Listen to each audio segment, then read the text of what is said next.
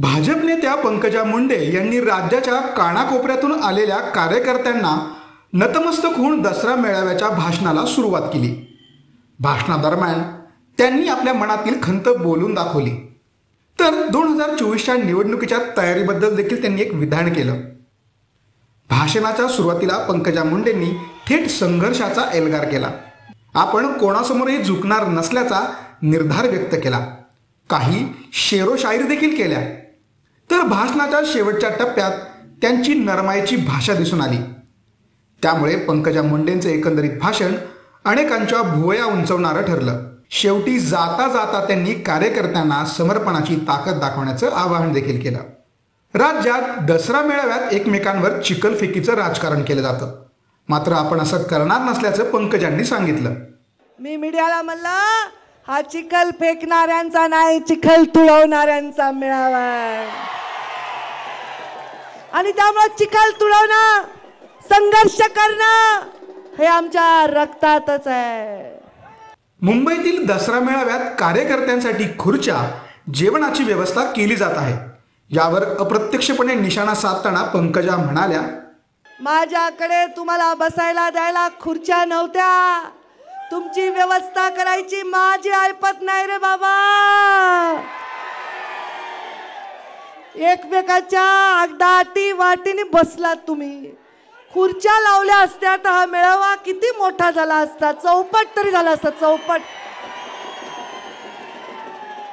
तुम्ही जमिनीवर बसणं गोड मानून घेतलं तुमचे मी उपकार मानते.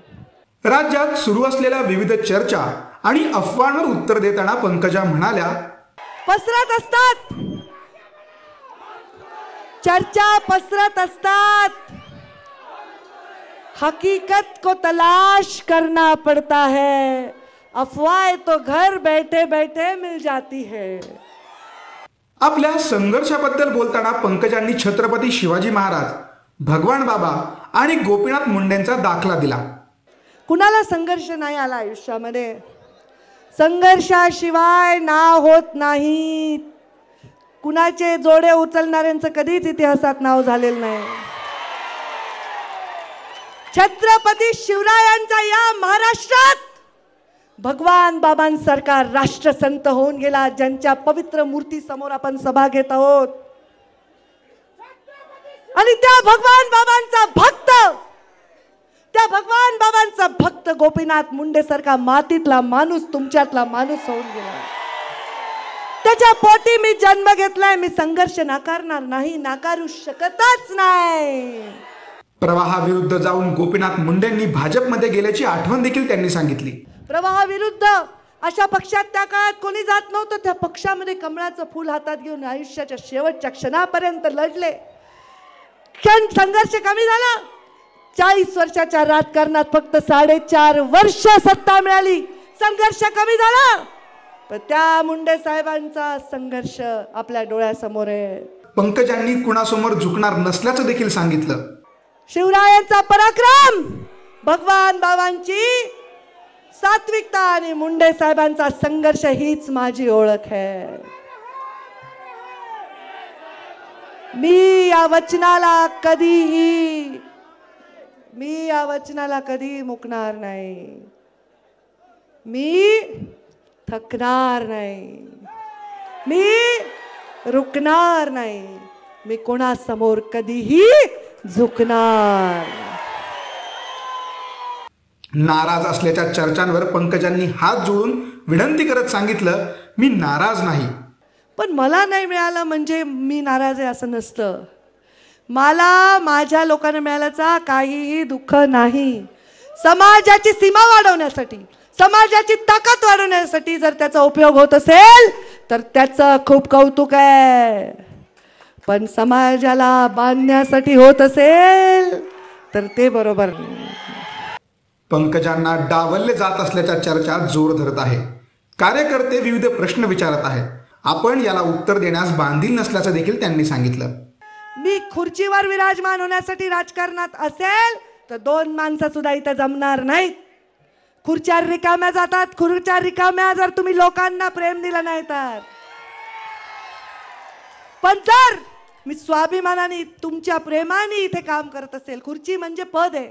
आता माझ्याकडे काही पद आहे का? आत्ता चार आमदार आधी झाले. मला माहिती आहे भाजपचा संस्कार आहे. ज्यांनी निवडणूक लढली त्यांना संधी नाही. मी गप्प बसले.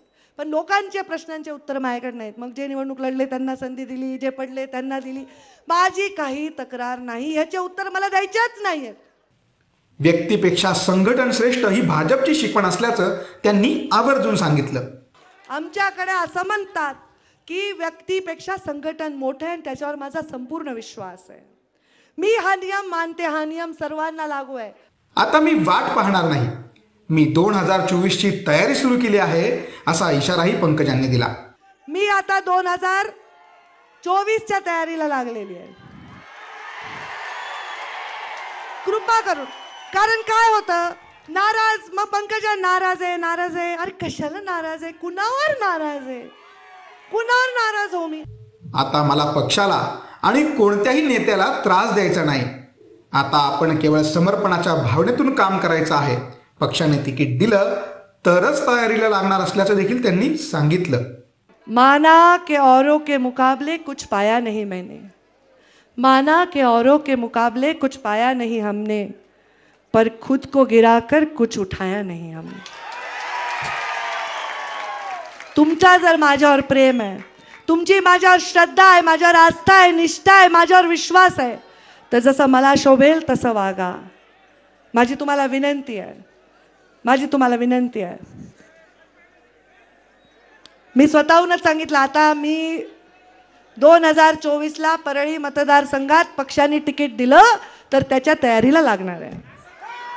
शेवटी बोलताना कार्यकर्त्यांना त्यांनी समर्पणाची ताकद दाखवू असं देखील सांगितलं. एकदा आपण समर्पण करून दाखवलं. समर्पणच केलं ना? गोपीनाथ मुंडे नाव जोडल्यापासून दुसऱ्या बोटाला स्पर्श नाही केला तुम्ही कमळाशिवाय.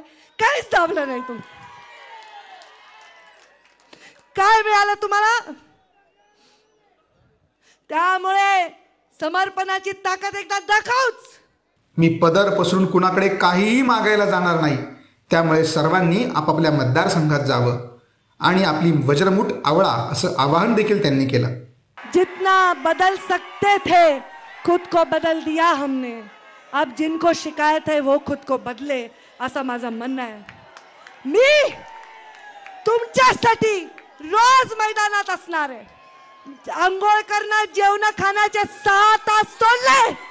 तर मी तुमच्यासमोर रात्रंदिवस काम करणार. मी तुमच्यासाठी आहे. तुम्ही माझ्यासाठी आहात आणि मी माझ्या संस्कारांसाठी आहे. गोपीनाथ मुंडे नावाला बट्टा लागेल असं वागणार नाही. मी उठणार नाही. मी मातणार नाही. मी घेतला वसा. भाजप नेत्या पंकजा मुंडेंचा मेळावा झाला असला तरी त्यांचं राजकीय भवितव्य काय असणार? याचं उत्तर येणारा काळच देईल.